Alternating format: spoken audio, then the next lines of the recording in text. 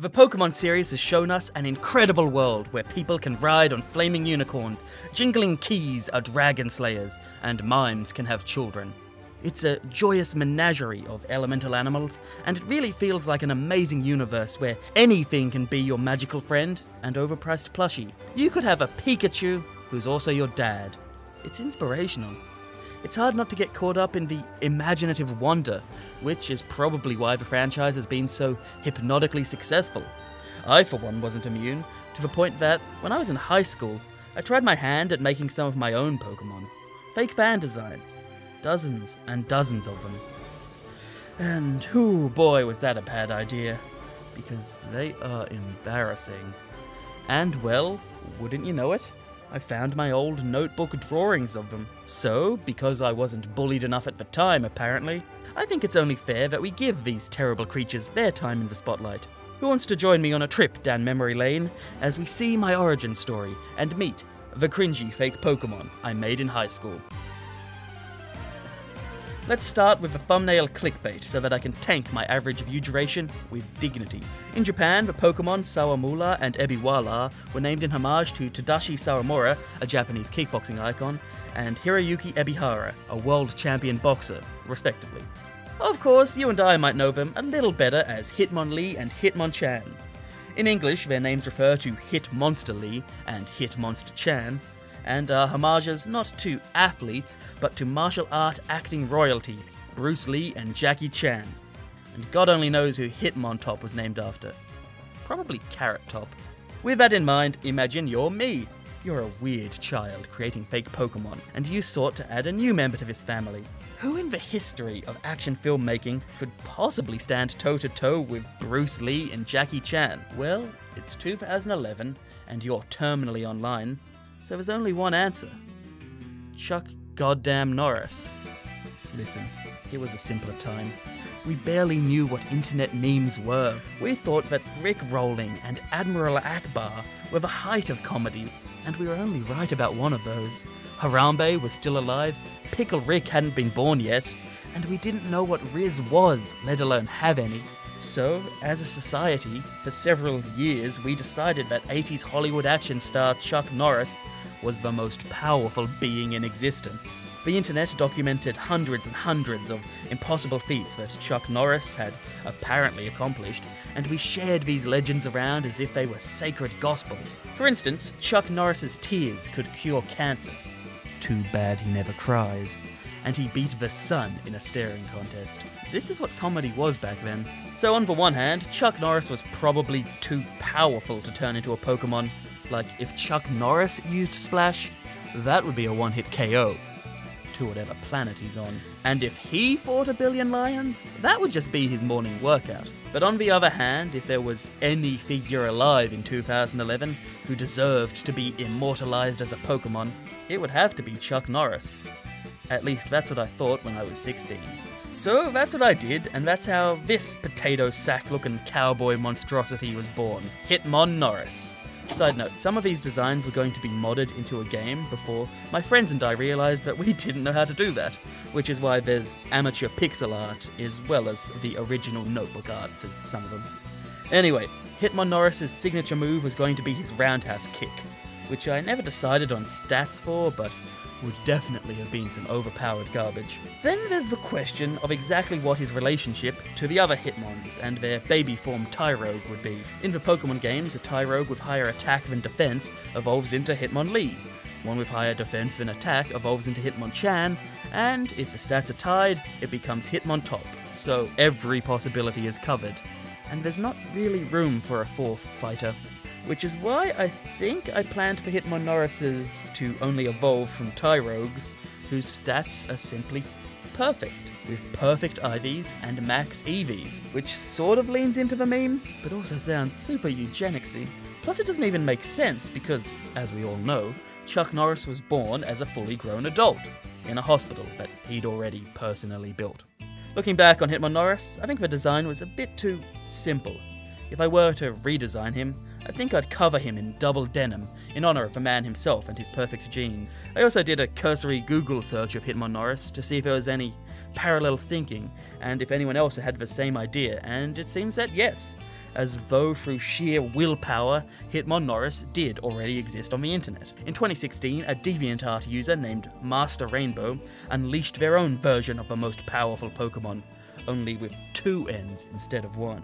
According to the description, this Hitmonnorris had an ability that made its not very effective moves super effective, and it had no weaknesses, which is wonderfully overpowered cheese. I think this Hitmonnorris is a much more cohesive visual design compared to my own, and I love that his beard is just another fist, just like the real Chuck, so shoutouts to Master Rainbow. Anyway, that's enough of this meme history lesson. Next week's lecture will be about the humongous Big Chungus Among Us pipeline, and it will be in the test. But Hitmonnorris is only the tip of the cringeberg, and we have plenty more fake Pokemon to get to on this safari through a weird teenager's diary. Who's that Pokemon? Mello is just a little guy. A sweet little marshmallow who was normal type, but that's only because fairy type didn't exist yet. I really stretched myself as an artist when I designed this limbless lump, but I guess Mello isn't that cringe. There's nothing that embarrassing about a simple face on a blob. At least there wouldn't be until the Emoji movie came out. Who's that Pokemon? Mello evolves into Marshal, who is basically the same thing, only stabbed through with a twig. Where Mello is just a basic Kirby knockoff, Marshal is like American box art Kirby, and now has an angry face. It also gained the grass type. Typically, Pokemon don't evolve via impalement, but I think Marshal is still a harmless, innocent design. Until you give it a Firestone. Who's that Pokemon? Then Marshal evolves into Marshell, and now life is pain and fire. Marshell is in constant agony and only wants to die, but sadly it can't, because it's already dead. It's now a ghost fire type to really throw Charles Darwin a curveball. And remember, if you have one, it's because you gave it the Firestone. This is all your fault. Who's that Pokemon? Next up are Shivs and Shanx, two fighting dark types with criminal pasts and tally marks carved into their heads. Apparently, I thought it was appropriate to turn prison violence into Pokemon, and if that's not bad enough, according to my old notepaper, at one point Shanx's name was going to be Drope Sop. Drope Sop, of course, being a play on drop soap, which is a reference to prison sexual assault which was just a perfectly normal thing to joke about in 2011 for some reason.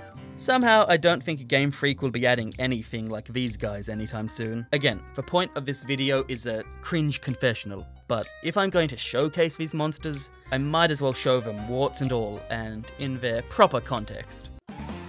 Who's that Pokemon?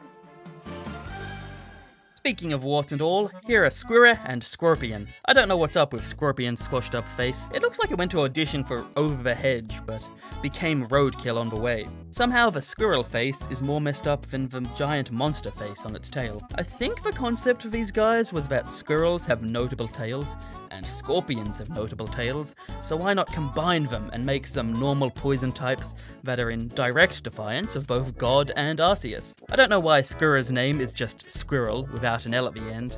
I spent weeks trying to work out if there was a reason for that, or a pun, or just what I was going for, and I can't figure out anything, so if you can solve this riddle, um, Um, yeah, feel free to let me know. It just makes no sense to me, especially because both of these critters are just innately taking a massive L. Who's that Pokemon? Here are Sockery, Pupposes, and Mesmerette. A sock puppet, a hand puppet, and a marionette that form a trio of psychic or psychic ghost type Pokemon. Never could decide on the typing. I think these three are decent designs that take a concept and build on it naturally. I like them. I think they hold up. I think Mesmerette is just plain old one of my favorite designs I've ever done, and Sockery is my only sock I have that doesn't fill me with disgust to think about. So what's wrong with them? What's cringy about them?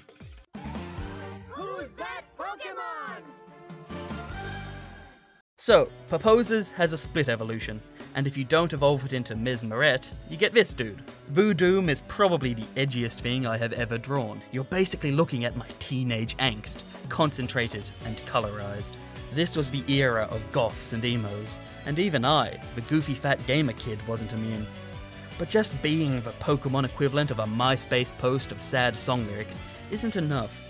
Because Voodoom is also cringy for a far worse reason. I genuinely feel kinda bad about this because. Oops, I did a plagiarism. I'll explain. So, the competitive Pokemon hub Smogon, or Smogon, has a section on their website where they design their own fake Pokemon, with the goal being to theorycraft cool ways to shake up the Pokemon metagame. I distinctly remember browsing these fake designs and seeing a voodoo doll. A voodoo doll named Voodoom. So yeah, you see where this is going. I mean, we're already there.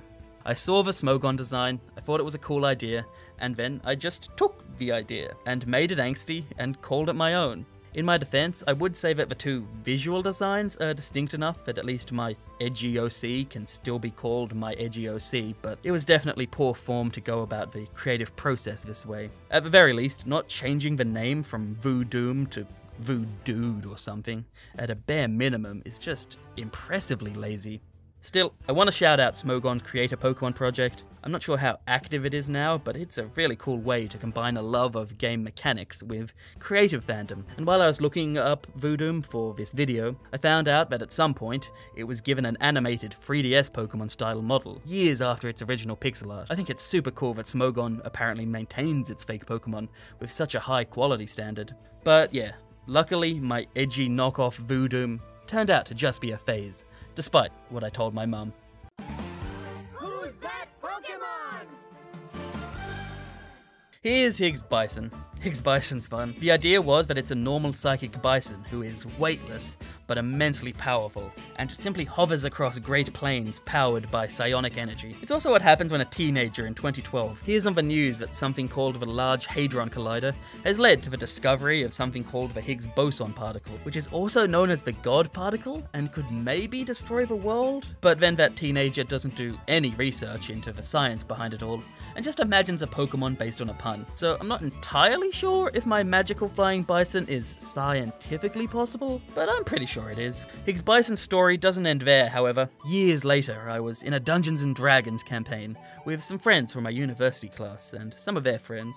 People I didn't even know existed when I was in high school, and more importantly, people who didn't know my shameful past of drawing cartoon animals. One of these players, my friend Nathan, was playing as a gnome ranger named Alvin Chipman, sorry for the docs. Alvin was a determined, stoic archer and an obsessive hunter who was on a lifelong quest to hunt the ultimate quarry, the mysterious and all-powerful Higgs Bison. Independently of my weird high school Pokemon, the Higgs Bison had found its way back into my life, this time as the brainchild of my friend Nathan as his gnome's backstory. It was a complete coincidence, but I was more than happy to join Nathan and Alvin on the hunt for the Higgs Bison. Until our druid friend Styx turned into a giant mushroom demon and snapped Alvin's neck, that is. Dungeons and Dragons is just kinda like that.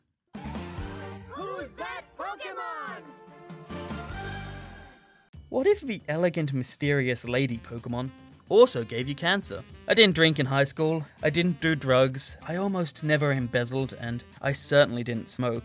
Yet something compelled me to create this horrid creature. Cigrette is a wicked fire poison type, and is probably, by far, the least appropriate creature for the actual Pokemon brand's values that will appear on this list, which is saying something considering that actual Pokemon includes kidnappers, orphans wearing their mother's skulls, and Lickilicky. Still, part of me thinks that Cigrette is an effective design, albeit a cursed one. Making it a dignified creature instead of a disgusting one adds to the horror and almost gives it the allure of a siren song, and that kind of perverse temptation is how so many people start smoking. Luckily, because of all the smoke, Cigrette's siren song sounds raspier than a two stroke motor, so hopefully not too many people fall for her trap. Unfortunately, Cigrette didn't come to this party alone.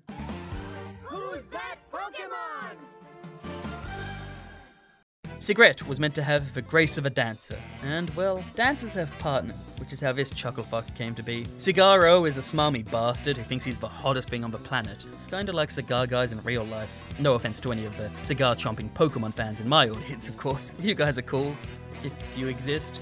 Admittedly, I did have enough restraint back in the day to not put too much thought into Cigaro, and most of his existence seems to have been sketches on my math homework, so that's why I don't know how to do interest. So I had to take some liberties for his redesign in this video. I really wanted to emphasize what an awful, ridiculous man he is, so I tried to give him the vibe of someone who says the N word in private, and thinks that giving women the vote was a mistake. Overall, smoking is cringe and bad, kids. Don't do it. Now, if you'll excuse me, I'm off to design a vape Pokemon. Who's that Pokemon? So here are free lizards, a family of dragons built off the fact that lizards can lose their tails and regrow them. I then turned that cycle into Pokemon evolution. The little one is a basic little lizard, the middle stage is missing its tail completely, and the final form is big and majestic, with a powerful new tail. I think the concept holds up, the designs are fine, the color palette is garish but mostly works, and pure dragon types are cool. As far as sketchbook Fakemon go, they're perfectly cromulent. So what's the problem? Well, for some reason, these guys are named Staliz and Putin and Communist. Despite being based on tail regrowth, some weird part of my brain decided to name them after Joseph Stalin, Vladimir Putin, and I guess communism as a concept. At the time, Stalin and Putin were not exactly the kind of people who deserved Pokemon named in their honor, and somehow that already strange and awful decision has only aged worse. I don't know if you've seen the news lately, but Vladimir Putin kinda cringe. And he's not a communist, so the overall theming of these names doesn't even make sense to begin with. Maybe this is what people mean when they say to keep politics out of video games. Who's that Pokemon? Next up is Drabbit. Drabbit is a dark rabbit. I don't think I ever put much thought into Drabbit, and I'm guessing Drabbit is just something I haphazardly scribbled into existence, which kind of explains why Drabbit inexplicably has one of those dick sucking Q*bert snouts. Pokemon? Here is a gazelle, who has the Jesus fish on its body, halo horns, and a Christian cross down its face. It is a normal type named Gazealot. Now let's talk about real world religious discourse in my comedy Pokemon YouTube video. Look, I feel bad about this one. I was definitely just an edgy teenage atheist when I made Gazealot, and I think it shows. Whatever your own beliefs are, disrespecting people's religions isn't cool. Calling them zealots is just mean spirited. Be nice to other people, and maybe don't make a savannah beast into an incredibly vague religious statement. How would I feel if someone took a moose or something and covered it with some of the most important symbols and images for my lifestyle and values? I would feel confused. If I were to design this today, I'd change all the Christian specific imagery into non specific symbols that are evocative of religion, but don't call out any group of people's genuine beliefs. Like how the churches in every JRPG ever criticize religious institutions as a concept, but not usually specific religions. Not only is that more respectful, but it's also more cohesive world building, because now we don't have this Christian missionary gazelle spreading Jesus' message in Arceus' world. I don't think Jesus existed in the Pokemon world, although I'm pretty sure they do still celebrate Christmas, so maybe there has to have been a Pokemon Jesus. If there's any Poke lore masters in the comments, uh, feel free to let me know if the Son of God canonically coexisted with Psyduck. Anyway, I'd also change Gazealot's name to the shorter and slightly less loaded Gazeal, because for some reason zeal and zealotry are similar concepts, but one is way more insulting. But yeah, again, sorry about the weird Christian gazelle. I was a dumb kid. Let's respect one another, no matter what we believe, and I promise not to do anything like this again. Although, I do have a pretty cool idea for a Digimon based on the Latter day Saints. Hmm.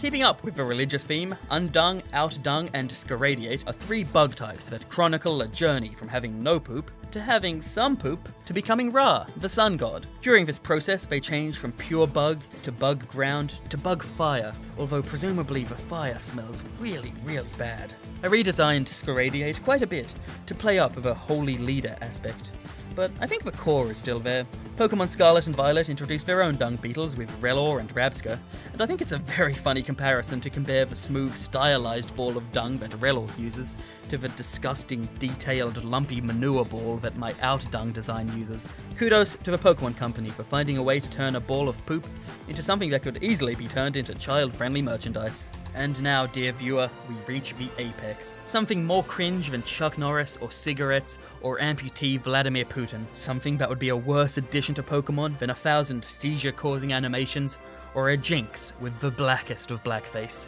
Something that I did that I truly have no excuse for, and I hope is the most embarrassing thing that I will ever publicly post on the internet. Brace yourself, my friends, because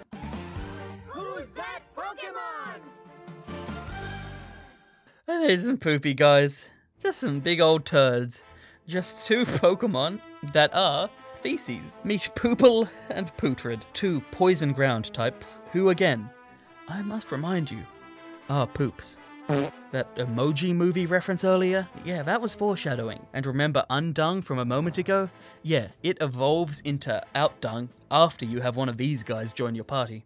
Admittedly, the original designs were much more pure. They literally were just shit. Nothing more, nothing less. But for this redesign, this modern reimagining, I draped Pootrid in toilet paper and gave him, or her, 50% chance, a big old adult diaper. Now there's a bit more personality, the evolution builds on the concept instead of just growing bigger, and the new elements give this visual design more contrast and points of interest. It's like how Superman's red underwear is a nice way to break up and punctuate that visual design, except it's a poo wearing a diaper. At this point, I really must stress I made these poop Pokemon a decade ago for comedy, and I gave this one a diaper today for comedy. This isn't a fetish thing, I swear. No matter how much it might look that way. There would be nothing wrong with it if it was, but but it's not. I'm not a poop guy. I'm not a diaper guy. It's just jokes. Okay? Okay. oh dear. And those are the cringy, fake Pokemon I made in high school. Truly a hall of shame. I hope you enjoyed this awful menagerie. And hey, I hope you learned something. I'm sorry that this video was more than a little self-indulgent, but I think there's great value in revisiting one's own creative journey, to remind yourself of how far you've come, and what inspired and amused you, and just how much of a hack you were, and then to try and find a way to monetize your childhood innocence. It's important to recycle your trash. These strange monsters aren't profound or meaningful, they're just fan art OCs from a franchise for children. They're all deeply, deeply stupid. But this process, the spark to make dumb stuff, this is pure human creativity, and an important checkpoint into how I became a mediocre, artistic adult. I'm proud of all of them, and I encourage all of you to rediscover and be proud of whatever weird artistic adventures you've gone on. And just maybe, being cringe is a little bit based. Wait, no, sorry, I misread that. A little bit debased. I've debased myself here today. But seriously, thanks for watching. For my regular viewers, if you're mostly here for Smash Bros content, I'm sorry that this isn't more of that. And yeah, if you liked this video for some ungodly reason, please let me know. And yeah, listen, zero promises, but if this accursed video does really well somehow, I have a lot more fake Pokemon designs where these guys came from. And well, we started with the worst of the worst. In theory, it's only uphill from here. So subscribe, and maybe we'll do this again with 10% less cringe. Thank you all so much for watching. And I'm not into diapers. Please don't let that become my online reputation. Oh god. Okay.